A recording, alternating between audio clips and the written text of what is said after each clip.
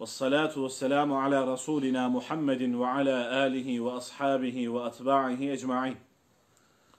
الحمد لله الذي هدانا للإسلام والحمد لله الذي جعلنا من أمة محمد رسول الله صلى الله عليه وسلم. الحمد لله الذي هدانا لهذا وما كنا لنهتدي لولا أن هدانا الله. لقد جاءت رسل ربنا بالحق. صلوا على رسولنا محمد. صلوا على طبيب قلوبنا محمد Allahümme salli. صلوا على شفيع ذنوبنا وقرة أعيننا محمد أعوذ بالله من الشيطان الرجيم بسم الله الرحمن الرحيم والضحى والليل إذا سجى ما ودعك ربك وما قلى إلى آخر الآية صدق الله العظيم Bizleri yoktan var eden, varlığından haberdar eden Yüce Rabbimize sonsuz hamdü senalar. Onun Habibi Hazreti Muhammed Mustafa sallallahu aleyhi ve sellem Efendimiz'e selatu selam olsun. Rabbimiz inşallah duyduklarımızda, duyacaklarımızla amel etmeyi bizlere nasip etsin. Bizleri istikamet üzere daim eylesin. Bizleri Kur'an ilimleriyle, Kur'an emirleriyle amel eden kullarından olmayı Allah Celle Celaluhu bizlere nasip eylesin. Evet kardeşlerim geçen hafta İnşirah suresini anlatmıştık. Elem neşrah leke sadrak suresini tefsir ettik. Bu hafta Duha suresindeyiz. Ve duha ve leyli izâ seca suresinde. Ya da bir diğer ismiyle Kuşluk suresi. Tabii kardeşlerim Kur'an-ı Kerim'deki bütün surelerin yani bir nuzul sebebi olduğunu ifade etmiştik. Yani her bir sure Peygamber aleyhissalatu vesselamın yaşantısına göre ya da yaşadığı noktaya göre ya da karşılaştığı bir duruma göre iniş sebebi olduğunu söylemiştik. Duha suresi kardeşlerim Peygamber aleyhissalatu vesselama Mekke-i Mükerreme'de inen bir sure-i celile ki zaten surenin e, ayet itibariyle baktığımızda Mekke'de indiğini anlayabiliyoruz. Bununla birlikte surenin nuzul sebebi, iniş sebebine baktığımız zaman yani bu Duha suresi niçin peygamberimize indi? Buna baktığımız zaman iki farklı görüş var ulemalarımızdan, müfessirlerimizden. Birinci görüş kardeşlerim, Peygamberimiz Aleyhisselatü Vesselam'ın hatırlıyorsanız salı sohbetinde Peygamber Efendimiz'e müşrikler bazı sorular sormuşlardı. Müşrikler Yahudi alimlerinin yanlarına gittiler. Yahudi alimleri şunu söylemişlerdi. Demişlerdi ki Muhammed'e şu şeyleri sorun. Eğer bunları bilirse hakiki bir gerçek peygamberdir. Ama bunları bilmezse gerçek bir peygamber değildir. Ona sorun. Birinci soruda peygamberimize şunu sormaya tavsiye ettiler Yahudi alimleri. Yahudilere, müşriklere bunu sorun dediler. Birincisi peygamberimize ashab-ı keyfi sorun dediler. Hatırlıyorsunuz değil mi? Salı sohbetinde anlatmıştık. Hatta bunları her hafta bir sohbette bunları açıkladık. Yani ashab-ı keyfi anlattık. İkinci soruda Zülkarneyn aleyhisselamı sordular. Üçüncü soruda da ruhu Cebrail aleyhisselamı sorun dediler peygamberimize. Eğer bunlar hakkında size geniş bir malumat veriyorsa o Allah'ın peygamberidir. Ama eğer bunlara cevap veremiyorsa o peygamber değildir, yalan söylüyordur dediler. Tabi müşrikler geldiler, peygamber efendimize bunu sordular. Peygamberimiz ne yapmıştı bu soru karşılığında? Demişti ki yarın size bunların cevabını vereceğim demişti. Ama inşallah demediği için uzun bir müddet ayet inmesi gecikmişti değil mi kardeşler? Yani burada da bir şey yapacağımız zaman inşallah demenin önemini Rabbimiz bizlere işaret ediyordu. Dolayısıyla Peygamberimiz inşallah size söyleyeceğim demedi de yarın size bunun cevabını vereceğim deyince Rabbimiz uzun bir müddet Peygamberimize ayet indirmedi. Yani bir rivayet göre 40 gün daha fazla da olabilir, daha az da olabilir. Cebrail aleyhisselam uzun bir müddet gelmedi. Tabi Peygamberimiz bu duruma üzülüyordu. Yani sürekli gökyüzüne bakıyordu. Müşrikler peygamberimizle alay ediyorlardı. En son Ebu Leheb'in karısı e, ne dedi? Geldi dedi ki Ümmü Cemil Muhammed'in Rabbi Muhammed'e küsmüş ona ayet indirmiyor dedi. Yani peygamberimize dalga geçmek amaçlı.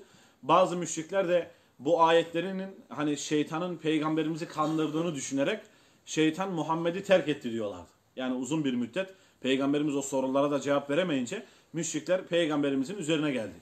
Tabi peygamberimiz üzülüyordu aleyhissalatü vesselam. Hem gerek akrabaları yani yakın akrabalarından sürekli peygamberimiz böyle alaylarla karşı karşıya kalınca Resulullah Efendimiz üzülüyordu, mahzun kalıyordu. E, Birinci rivayet bu. Efendimiz üzülünce ayet-i kerimenin devamında birazdan bahsedeceğiz inşallah. Allah Celle Celaluhu Peygamber Efendimiz'e buyuruyor ki Ey Muhammed sallallahu aleyhi ve sellem Rabbin seni terk etmedi, sana darılmadı da. Yani müşrikler böyle alay edince bu ayet-i kerimeyle Rabbimiz Peygamber aleyhissalatu vesselam'ı teskin ediyor. Üzüntüsünü paylaşıp Peygamber Efendimiz'i mutlu etmeye çalışıyor. Ayetin devamında Peygamberimizi verdiği nimetleri Allah anlatıyor. Yani Peygamberimiz üzülüyor ya. Hani daha önce de söyledik. Peygamberimiz Rabbimize ne demişti? Demişti ki ya Rabbi sen İbrahim'i dost edindin. Hazreti Musa ile konuştun. Hazreti İsa'ya ruhundan verdin. Bana ne verdin ya Rabbi deyince Rabbimiz ne buyurmuştu ona? Demişti ki ya Muhammed ben sana en büyük makamı verdim. Hangi makamda hatırlıyor musunuz? Eklemesin. Dedi ki ben sana öyle bir makam verdim ki insanlara la ilahe illallah dedirtince Muhammedur Resulullah dedirttim. Kendi adamın yanına senin ismini koydum. Sana bu kadar büyük bir makam verdim. Buyurdu Peygamberimize. Yani Efendimiz Aleyhisselatü Vesselam böyle bir soru sorunca Rabbimiz ona bu nimeti bahşettiğini söylüyor. Hatta dedik hani kâmette bile, ezanda bile eşhedü en la ilahe illallah dedikten sonra eşhedü enne Muhammeden Resulullah diyoruz. Rabbimiz peygamberimize bu makamı verdiğini söylüyor. İkinci bir rivayet kardeşlerim. İkinci bir rivayette şimdi burada da bize bir uyarı var. Ee, bu surenin iniş sebeplerinden bir tanesi. Yani kabul görülen sebep birinci az önce anlattığım sebeptir. Peygamberimiz uzun bir müddet ayet gelmedi. Peygamberimiz üzüldü. Rabbimiz peygamberimizi mutlu etmek için bu ayeti gönderdi. Ve Duha suresini gönderdi. İkinci bir görüş ise şu. e, Peygamberimiz aleyhissalatu vesselama Cebrail aleyhisselam gidip geliyordu. Peygamber aleyhissalatu vesselamın evinde bir köpek vardı. Daha yani peygamberlik alametleri başladı. Ayetler iniyordu. Cebrail aleyhisselam Resulullah'ın evinde bu köpeğin olması hasebiyle Peygamber aleyhissalatu vesselamın evine girmedi. Uzun bir müddet. Sonra Peygamberimiz Cebrail aleyhisselamın gelip geri döndüğünü görüyordu. Yani evin içine girmeden geri döndüğünü görünce e, tabi fark etti. Köpeği dışarı çıkardılar. Sonra Cebrail aleyhisselam gelmeye başladı. Resulullah sordu dedi ki ey Cebrail niçin gelmedin? Cebrail aleyhisselam buyurdu ki ya Muhammed evde köpek vardı. Köpeğin olduğu eve Allah'ın melekleri girmez buyurdu Cebrail aleyhisselam. Onun için gelemedim buyurdu. Tabi şimdi buraya baktığımız zaman kardeşlerim yani İslam'a karşı böyle cephe alan, zırh alanlar şimdi bu ayet hakkında şöyle düşünürler. Yani haşa Allah şimdi o köpeğin orada olduğunu bilmiyor mu? Yani bildiği halde Cebrail Aleyhisselam'ı niye gönderdi? Ya da Allah istese o köpeği oradan çıkaramaz mıydı? Ya burada bizim çıkaracağımız iman edenler olarak gayba iman edenler Elif la mim zalikel kitabu la raybe fi huden lil muttakin ellezine yu'minuna bil gayb. O müminler gayba iman ediyorlar. Peygamberi görmeden iman ettiler, inandılar. Ayet-i kerimenin gereğince biz imanımız gereğince burada bize bir işaret vardır. Evinde köpek barındıran bir kimsenin evine rahmet melekleri girmez kardeşler. Hiç unutmuyorum. Çok kıymetli Allah dostlarından birisi evimize misafir olarak gelmişti. Şeyh Said'in torunlarından birisiydi. Geldi bizim bahçede biz köpeğimiz vardı. O zaman Gürpınar merkezde oturuyorduk. Bahçemizde biz köpeğimiz vardı. Ee, kapının önünde köpeğin sesini duyunca babama dedi ki yani bu köpeği kaldırın melekler yanaşmaz dedi bu eve. Yani tabi İslam müfessirleri de buradan yola çıkarak birçok İslam büyüğü peygamberimizin bu hadis-i şerifinden e, köpeklerin evde barındırılmasına zaten müsaade etmiyorlar. Yani hatta evin bahçesinde olmasına sadece şu iki konuda cevaz veriliyor. Birincisi eğer evin böyle ıssız bir yerdeyse, bir dağ başındaysa, korunmaya ihtiyaç varsa köpek bahçede barındırılabilir. İkinci bir meselede de kardeşlerim, eğer hani çobanlık yapılıyorsa, hayvanların işte e, başka yırtıcı hayvanlara karşı korunması gerekiyorsa o zaman köpek kullanılabilir. Bu iki me- e, meselede köpeğin yetiştirilmesi, bakılmasına müsaade ediliyor. Ama tabii bunları söylediğimizde kardeşlerim, hani biliyorsunuz böyle hayvan severler çok. Bazen işte bize diyorlar ki ya hocam hani sen böyle söylüyorsun da hani bu hayvanları ne yapalım yani ölsünler mi? Beslemeyelim mi? Bakmayalım mı? Peygamberimiz kedileri barındırmıştır evinde aleyhissalatü vesselam. Ama Resulullah Efendimiz köpekleri evinde barındırmamıştır kardeşlerim. Dolayısıyla böyle bir hasletimiz varsa hem bizi izleyenler hem bizi dinleyenler e, köpekleri evlerimizde barındırmamaya gayret gösterelim. Yani en azından çok büyük sorumluluk sahibi olmamak için illaki ben yapacağım diyorsak da bahçede yani e, hani evimizin içerisinde bulundurmakta bulun, bulundurmaktansa bahçede bunu inşallah yetiştirirsek en azından evde bulundurmaktan daha hafif bir sorumluluk taşır bu şekilde. Çünkü İmam-ı Azam Ebu Hanife'ye göre, İmam Şafii'ye göre köpeğin salyası pistir, necistir. İnsanın elbisesine geldiği zaman bununla namaz kılamaz. Hatta İmam Şafii'ye göre köpeğe dokunulması bile uygun görülmemiştir. Dolayısıyla kardeşlerim dikkat edeceğiz bu hususta. E, evlerimize rahmet meleklerinin yığın yığın, akın akın gelmesini istiyorsak Allah'ın istemediği şeyleri evlerimizde barındırmayacağız. Hatta bununla beraber suretleri de söylemiştik eğer hatırlıyorsanız salı sohbetlerinde. Dedik ki evlerimize suret barındırmayalım. Yani işte evimize bir süs aldığımız zaman köpek sureti, hayvan sureti alıyoruz. İşte farklı farklı suretler evde diziyoruz böyle. İşte filler oluyor bilmem neler oluyor. Yani bunların evde bulundurulması doğru değildir. Suretlerin evde olması. Yani en azından hani gücümüz buna yetmiyorsa, hanımlarımıza bu konuda baskı yapamıyorsak bile en azından namaz kıldığımızda kıble tarafında olmaması lazım bunlar. Ama e, evlerimizde suretlerin bulundurmaması evimizin bereketine vesile olur kardeşler. Şimdi Duha suresi anladık değil mi? İki sebep var iniş sebebi. Ama kabul görülen sebep birinci sebeptir. Yani ulemaların ekseri yorumu Peygamberimiz Aleyhisselatü Vesselam'a uzun bir süre ayet gelmedikten sonra Duha suresi geliyor. Tabii kardeşlerim öncesi Leyl suresi ama az önce söylediğimiz gibi ilk rivayet daha uygundur. Yani peygamberimize uzun süre ayet gelmedi. Efendimiz üzüldü. Ondan sonra bu ayet kerime indi. Önceki sure Leyl suresi. Leyl suresinde Allah Celle Celaluhu münasebet olarak Hazreti Ebu Bekir'i anlatıyor. işaret ediyor. Ebu e, Leyl suresinde. Duha suresinden önceki surede. Kardeşlerim şunu ifade edelim buraya gelmişken. Biliyorsunuz dört büyük halife vardır. Peygamber aleyhissalatü vesselamın halifeleridir. Hazreti Ebu Bekir. Kimdi mensur başka? Hazreti Ömer, Tamam. Hazreti Osman. Dört büyük halife var. Şimdi müfessirlerimiz buyuruyorlar ki bu dört büyük halifeden Hazreti Ebu Bekir Efendimiz Kur'an-ı Kerim'de çok yakinen işaret edildiğinden dolayı yani e, diğer bir ayette de mesela Leyl suresinde bahsediyor. İnşallah haftaya konumuz o olacak. E, onun dışında da Peygamberimiz Aleyhisselatü Vesselam biliyorsunuz e, Sevir mağarasında Hazreti Ebu Bekir'le beraber üç gün üç gece kaldı. Orada Peygamberimiz maddi manevi bütün ilimleri Hazreti Ebu Bekir'e verdi. Ee, Resulullah Efendimiz o manevi ilimleri ona bıraktı. Ve Kur'an-ı Kerim'de Allah ne buyuruyor Celle Celaluhu? O mağaradakinin arkadaşı yani Peygamberimizin arkadaşı Hazreti Ebu Bekir'den bahsediyor. İsim olarak geçmiyor Kur'an-ı Kerim'de ama yani çok yakın olarak Hazreti Ebu Bekir Efendimiz işaret ediliyor. Dolayısıyla müfessirlerimiz buyuruyor ki bir kimse Hazreti Ömer'i kabul etmezse imandan olmaz. Hazreti Osman'ı kabul etmezse imandan yani dinden olmaz. Hazreti Ali'yi kabul etmezse dinden olmaz. Ama Hazreti Ebu Bekir'i inkar eden bir adam ayeti inkar ettiğinden dolayı İslam'dan çıkar buyuruyor. Yani mürted olur, dinden çıkar. Ha, diğer sahabeleri kabul etmezse iman konusunda sıkıntıya girer. İtikat konusunda sıkıntıya girer. Ama direkt olarak Hazreti Ebu Bekir ayette işaret edildiği için onun inkarı insanı dinden çıkarır. Ee, Burada onu ifade etmiş olalım. Leyl suresinde onu anlatıyor. Tabi burada sure itibariyle bağlantısı e, Allah'ın nimet ver, nimet verdiği kimseler hem dünyada kazanıyor hem ahirette kazanıyor.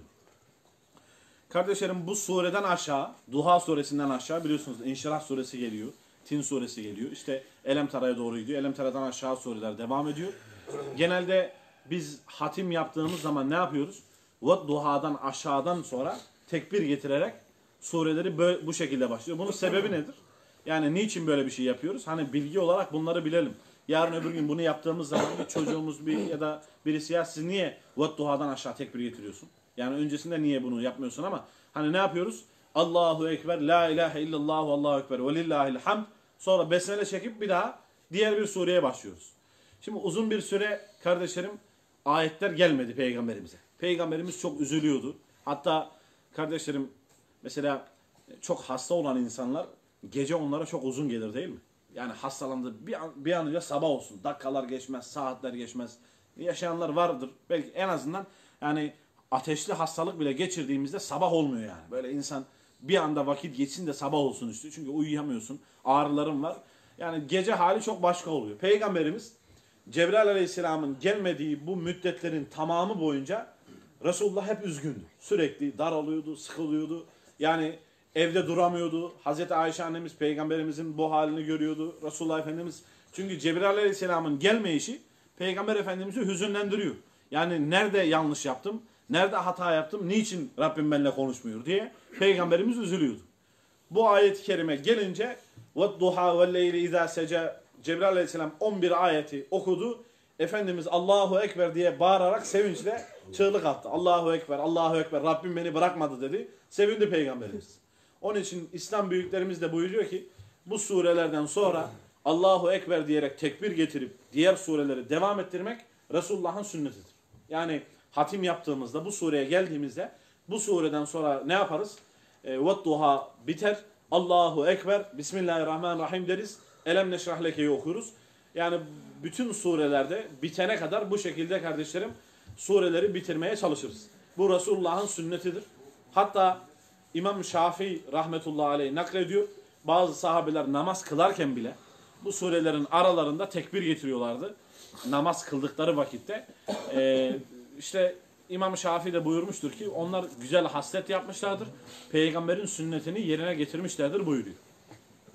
Şimdi hemen dağılmayın. Daha ayete başlamadık. Daha giriş yapıyoruz. 11 ayet okuyacağız şimdi. Kaç dakikamız oldu? 15 dakikamız olmuş daha. Biraz daha inşallah bir yarım saatte bitirmeye çalışırız Allah nasip ederse. Şimdi kardeşlerim ayetler birbiriyle bağlantılı olduğundan dolayı yani dinlerseniz iyi inşallah bağlantıları kaçırmış olmazsınız. Şimdi birinci e, ayeti kerime duha Rabbimiz ilk ayette kuşluk vaktine yemin olsun buyuruyor. Ya da ayeti daha detaylı söyleyecek olursak kuşluk vaktinin Rabbine yemin olsun. duha Duha, duha demek kuşluk vakti demek. Şimdi biz sabah namazından sonra işrak namazı kılıyoruz. İşrak namazından sonra duha namazı var kardeşlerim. Kuşluk namazı var. Hangi vakitte kılınıyor? Yani öğlen namazından yaklaşık bir saat önce. Yani saat şu anda 11 gibi, 10.30-11 gibi kılınan bir namaz. Bilmeyenler varsa inşallah bu namazı öğrenmiş olduk. Hem surenin ismidir hem de Allah bu vakte yemin ediyor. Bu vakte yemin etmesinin sebebi bu vaktin bereketinden kaynaklanmakta kardeşlerim. Yani ve duha, duha vaktine yemin olsun buyuruyor Allah. Ya da duha e, o vaktin Rabbine yemin olsun. İşrak vaktinin, duha vaktinin Rabbine yemin olsun. Peygamberimiz Aleyhisselatü Vesselam e, duha vaktinde yani kuşluk vaktinde 8 rekatlık bir namaz kılıyordu. 4-4 olarak ikiye ayırıyor. 8 rekatlık bir namaz kılıyor. Peygamberimiz buyuruyordu ki kim bu namazı kılarsa yani insanoğlunun bedenindeki azaları işte parmağındaki eklemlerine kadar. Şimdi parmaklarımızda burada eklemler var, burada eklemler var, burada eklemler var. Dirseklerimizde eklemler var, omuz tarafımızda eklemler var. Yine ayaklarımızda, parmaklarımızda aynı şekilde. Efendimiz buyuruyor ki Ademoğlu sabaha uyandığında vücudunun e, bütün eklemleri için bir sadaka vermesi lazımdır buyuruyor. Şimdi sayacak olsak vücudumuzda çok eklem var. 360. Evet 360 taneye yakın eklem var vücudumuzda. Ama diyor ki Efendimiz kim bu namazı kılarsa, duha namazını kılarsa, e, kuşluk namazını kılarsa vücudunda bulunan bütün eklemlerin sadakasını o gün vermiş olur buyuruyor.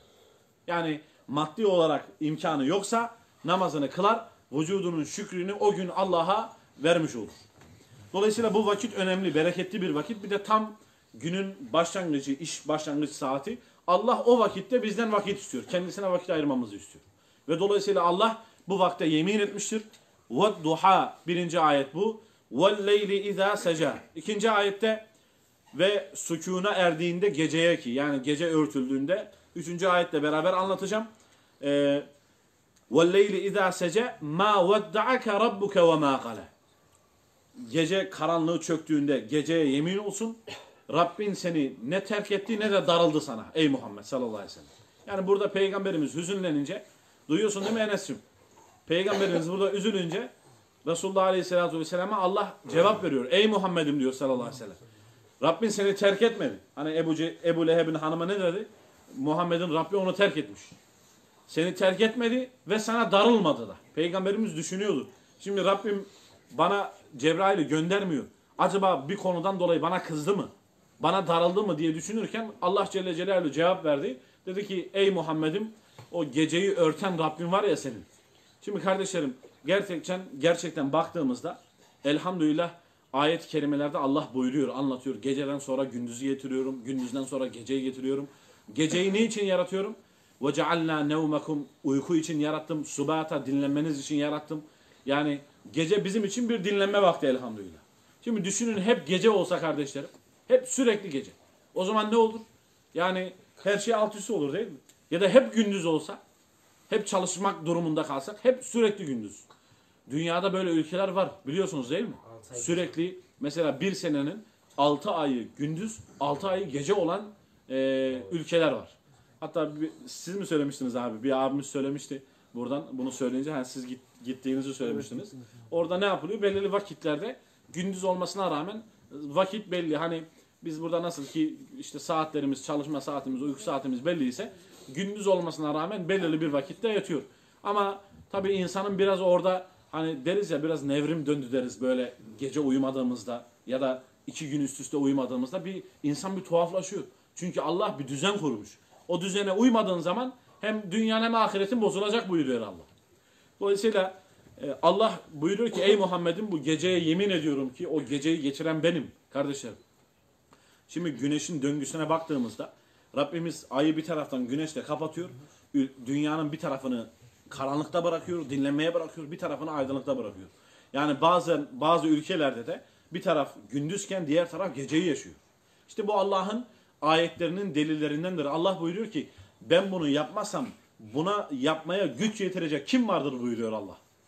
Yapabilir mi biri geceyi gündüzü? Hangi teknoloji buna hakim olabilir, sahip olabilir? Allah geceyi gündüze çevirmezse, gündüzü geceye çevirmezse Allah gecenin üzerine yemin ediyor böylelikle. Ma vedda'aka rabbuke ve ma kale. Ey Muhammed'im Rabbin seni bırakmadı, sana darılmadı.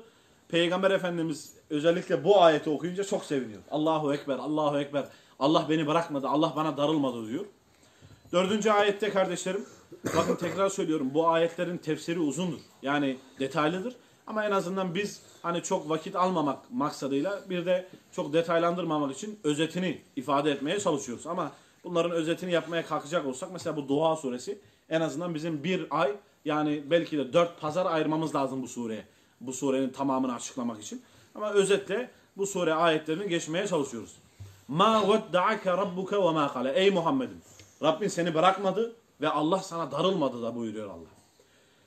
Diğer ayette dördüncü ayette velel ahiretu hayrun leke minel ula. Ey Muhammed sallallahu aleyhi ve sellem şüphesiz ki senin için ve sana uyan insanlar için ahiret hayatı dünya hayatından daha hayırlıdır. Allah Celle Celaluhu Peygamber Efendimiz'e burada bir emir veriyor. Ey Muhammed sallallahu aleyhi ve sellem sen ve sana tabi olanlar, sana uyanlar için. Bizden bahsediyor değil mi kardeşler? Şimdi bir tane adam çıktı. Dedi ki Kur'an'ın tamamı Mekke döneminde inmiştir. Mekke sokaklarına hitap ediyor. Bizi ilgilendirmiyor Kur'an şimdi diyor. Bir profesör söyledi bunu. Mekke sokaklarına indi. O zamanı ilgilendiriyor. Peygambere indi. Bizi ilgilendirmiyor. Yani Kur'an şu anda hükmedilmeyecek, ayetleriyle amel edilmeyecek bir kitap. O zaman da indi. O şekilde kaldı o zaman da. Mekke'de sokaklarda peygambere anlatıldı. Bize anlatılmadı bu ayetler diyor. وَلَلْ آخِرَةُ خَيْرٌ لَكَ مِنَ الْعُولَى Ey Muhammed'im şüphesiz ki ahiret hayatı senin için dünya hayatından daha değerlidir. Kardeşlerim Peygamberimiz sallallahu aleyhi ve sellem bile kendisini bu dünyada anlatırken şöyle buyuruyor. Şu dünyadaki misalim bir ağacın altında gölgelenip sonra yoluna devam eden bir yolcu gibidir buyurdu Peygamberimiz. Şimdi kardeşlerim biz bir ağacın altında gölgelendiğimizde, ağacın altında yattığımızda hiç gördünüz mü ağacın altında gölgelenen adam ya ben şu ağacı bir budayım etrafını bir çevireyim diyen adamı gördünüz mü? Yok. Adam gölgelikte kalıyor. Vaktini, saatini, işte dinlenmesini yapıp kalkıp gidiyor. Yani peygamberimiz de bunu işaret ederek yani bir ağacın altında gölgede kalıyorsunuz siz. Öğlen vakti o gölge var ama ikindi vaktinde o gölge kalmayacak. Resulullah bu dünya hayatında benim yaşantım, halim bu şekildedir buyuruyor. Şimdi peygamberimiz kendini örnek göstererek bize işaret ediyor.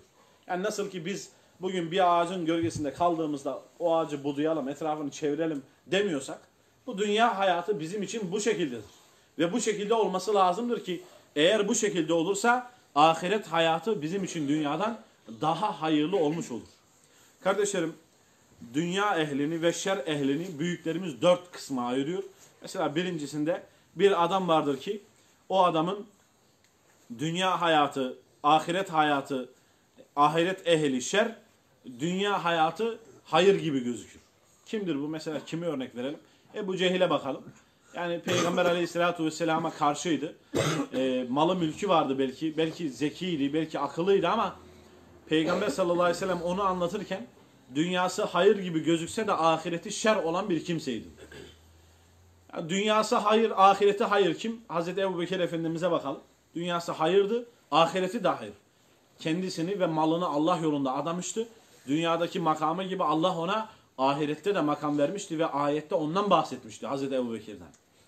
Diğer bir kısım insana bakacak olsa kardeşlerim, dünyada ehli şer, ahirette de ehli şer. Mesela dünyada nasıl ehli şer oluyor? Adam fakirdir, fukaradır. Yani dünya hayatı perişandır. Dünya hayatı şer gibi gözüküyor kendisine. Ama fakirdir, aynı zamanda zalimdir. Fakirdir, aynı zamanda hem fakir olduğu halde Allah'ı inkar eder, Rabbini inkar eder, peygamberi inkar eder. Hem dünyası şer olur, hem de ahiret hayatı şer olur inkarından dolayı. Dördüncü maddede de kardeşlerim, yani bir adam vardır ki o da dünyası şer olur ama ahireti hayır olur kardeşler. Kimdir bu adam? Allah'ın verdiği imtihanlara sabreder. Der ki ya Rabbi senin lütfun da hoş, kahrın da hoş Allah'ım der sabreder. Ve Allah onun dünyası şer gibi gözükse de Allah onun ahiretini mamur eder. Ve Rabbinin nimetlerine sabrından dolayı kardeşlerim. Çünkü mesela e, hani hem bizim için bu ayet hem peygamberimize sesleniyor. Ey Muhammed diyor Allah sallallahu aleyhi ve sellem. Ahiret senin için dünyadan daha hayırlıdır. Niye? Çünkü Allah peygamberimize ezan duasında mekamen mahmud ediyoruz değil mi? Kıyamet günü peygamberimize makamı mahmud verilecek. Nedir bu makamı ma- mahmud? Hiçbir peygambere verilmeyen bir makam kardeşler. Hiçbir peygamber bu makamı almadı. Kimden başka? Hz. Muhammed sallallahu aleyhi ve sellem'den başka.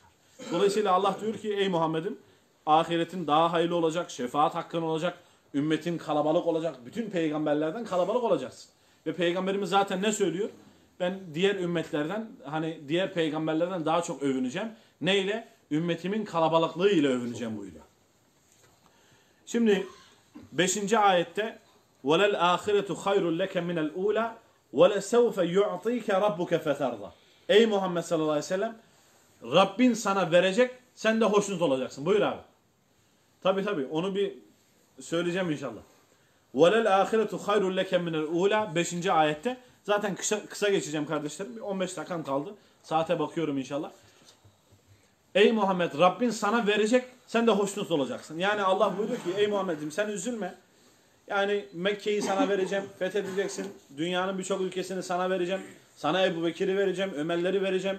Sana nimetleri vereceğim. Sen de hoşnut olacaksın bunun karşılığında. Hem dünyanda hoşnut olacaksın hem de ahirette sana verdiğim makamlardan ötürü hoşnut olacaksın buyuruyor. Kardeşlerim Rabbimiz vaadini yerine getirdi. Peygamberimizin sabrı karşılığında Allah Celle Celaluhu Resulullah'a hem dünyada hem ahirette vaat ettiği nimetleri Peygamber Efendimiz'e verdi aleyhissalatu vesselama. Şimdi 6. ayete geçeceğim ama bir salavat-ı şerif getirelim. Ondan sonra devam edelim. Böyle uyanlar kalkmış olur hep. Allahümme salli ala seyyidina Muhammedin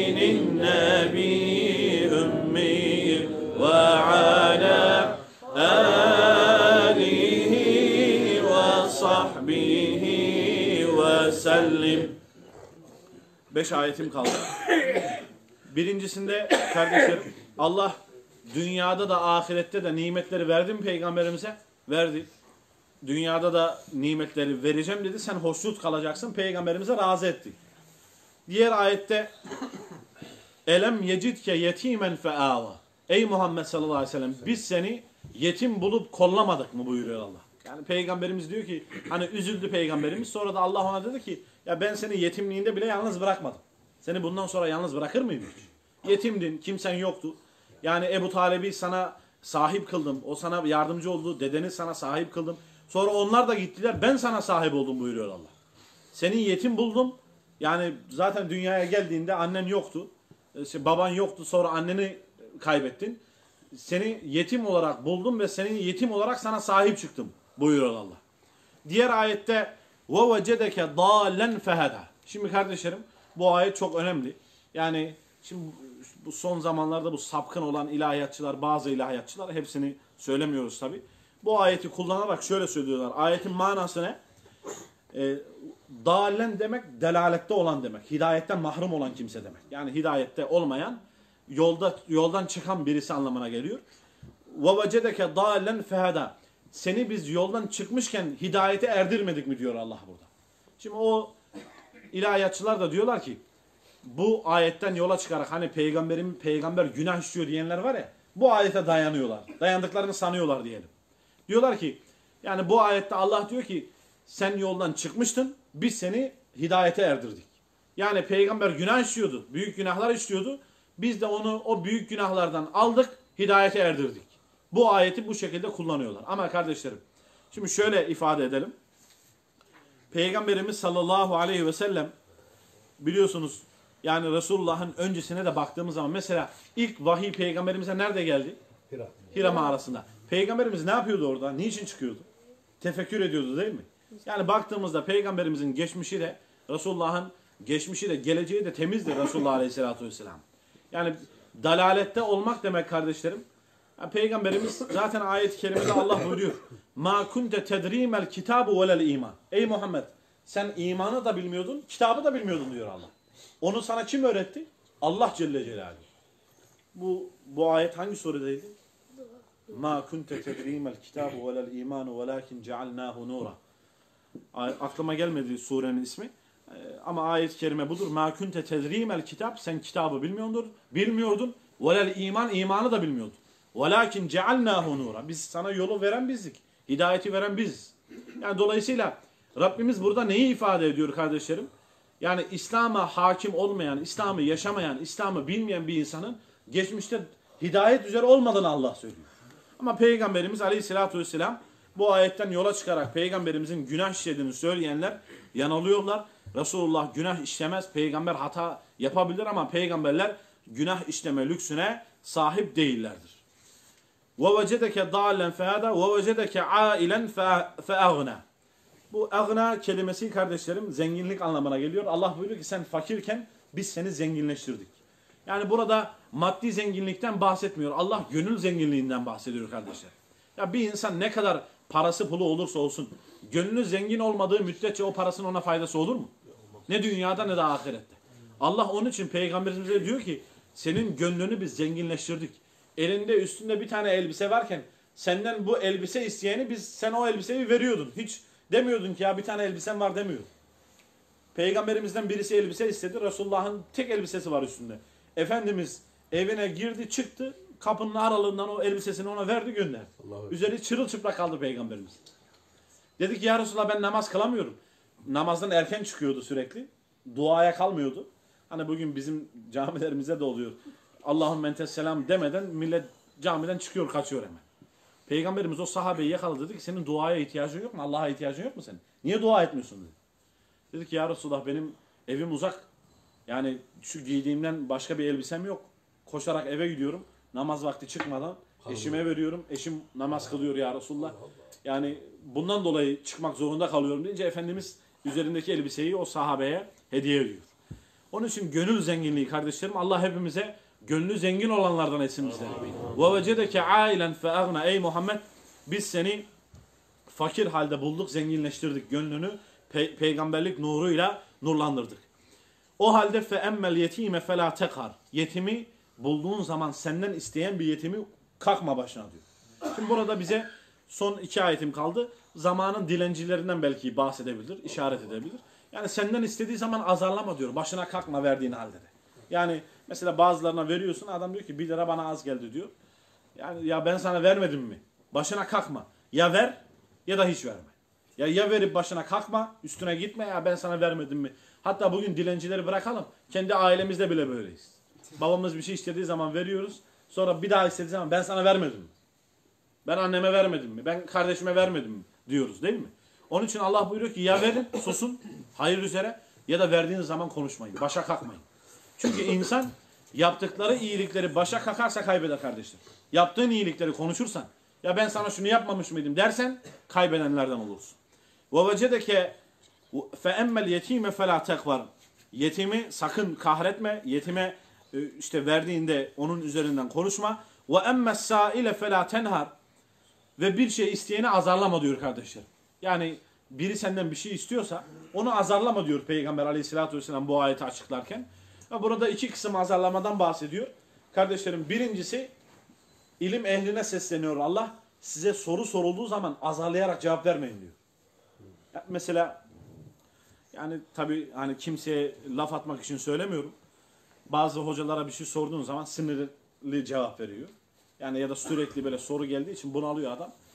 Kınayarak cevap veriyor ya da burada talebe yetiştirenlere Allah sesleniyor. Taleben sana soru sorduğu zaman açıkla onu. Ve emmez sail seeleden geliyor. Soru sorma kökünden. Sormak anlamında. Sana birisi bir şey sorduğu zaman ya da bir şey istediği zaman onu azarlama. Ya ver ya cevap ver. Mesela bunun en büyük örneği kardeşlerim Peygamberimiz sallallahu aleyhi ve sellem. Muaviye bin Hakem rivayet ediyor. Diyor ki biz Peygamberle aleyhissalatü vesselamla beraber cemaatle namaz kılarken birisi içeriye girdi. Namazda sahabelerden birisi hapşırınca namazın dışında yerhamuke Allah dedi ona. Böyle söyleyince namaz kılmayan sahabeler dizlerine vurmaya başladılar. Yani büyük bir hata yaptığını ifade etmek için. Dizlerine vurmaya başladılar böyle hani peygamber namazdayken yüksek sesle yerhamuke Allah dedi. Yani bu şekilde hani belki de bizim bu davranışımız o insanı soğutabilir. Soru soran bir insana kötü bir şekilde cevap verirsek. İslam hakkında sana soru sorduğu zaman ağır bir şekilde cevap verirsen kardeşlerim o zaman o kişiyi soğutabilirsin. Peygamberimiz namaz bittiğinde sordu dedi ki kim söyledi dedi onu. Yerhamuke Allah diye kim yüksek sesle söyledi. Namaz kılıyoruz, ibadet ediyoruz.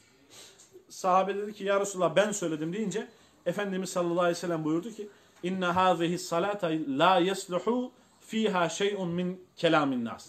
Bizim bu namazımızda dünya kelamı olmaz dedi Peygamberimiz. Yani namaz içinde hapşıran birisine yerhamuke Allah namazın içerisinde ki bunu söylemek insan kelamı konuşmak bizim namazlarımızda yoktur buyurdu Peygamberimiz. Yani her ne kadar sen ahiret için yerhamuke Allah ne demek? Allah sana rahmet etsin demek. Müslümanın vazifesidir hapşıran bir kimseye bunu söylemek. Allah sana rahmet etsin. Yerhamuke Allah demek. Bu peygamberimiz buyuruyor ki Müslümanın Müslüman üzerine ha- olan haklarından birisidir bu. Hak, hak geçiyor üstümüze. Hapşırdığı zaman yerhamuke Allah. Bunu söyleyemiyorsan Allah sana rahmet etsin diyelim kardeşler. Efendimiz dedi ki ona bizim bu namazımız la yesluhu fiha şey'un kelamin nas. Bizim dünya kelamı olacak bir namazımız değil. Bizim namazımız innema huve bizim bu namazımız et tesbihu tesbihdir ve tekbiru tekbirden ibarettir ve kıraatul Kur'an Kur'an okumaktan ibarettir. Biz bu namazda dünya kelamı konuşmayız. Yani burada peygamberimiz yani bilgisizce bir yanlış yapan bir insanı tatlı bir dille uyardı. Şimdi biz hop sen ne yapıyorsun ya? Dinden çıkacaksın. Abdestin olmadı. Namazın gitti. Şimdi böyle uyarırsan şimdi peygamberimiz burada mürşitlik vazifesini gösteriyor. Yönetme vazifesi, insanları iyi yönetebilme, düştükleri tuzaktan, yanlıştan tatlı bir dille onları çıkarma.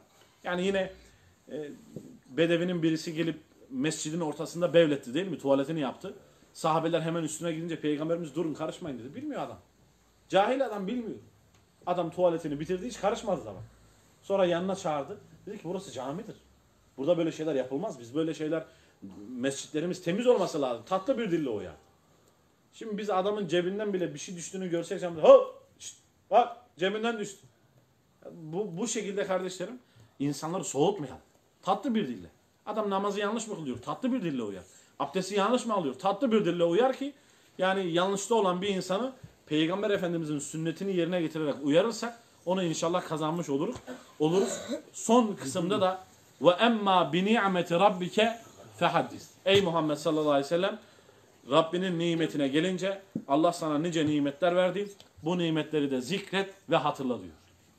Rabbim inşallah kendisinin bize verdiği nimetlere sahip çıkmayı nasip etsin. Nedir bu nimetler? İmandır bu nimetler, İslam'dır bu nimetler. Rabbim bu nimetlere sahip çıkıp bu nimetlerle yaşamayı Allah bizlere nasip etsin. Rabbim sıkıntılarımızı feraha tebdil etsin. Hastalarımız var. Rabbim hastalarımıza şifalar ihsan eylesin. Bir kanser hastası kardeşimiz bizden dua istiyor. Allah hayırlı şifalar ihsan eylesin. Rabbim attığımız tüm adımlara karşılık hac, umre sevabı nasip etsin. Günümüz hayırlara vesile olsun. Allah rızası için El Fatiha.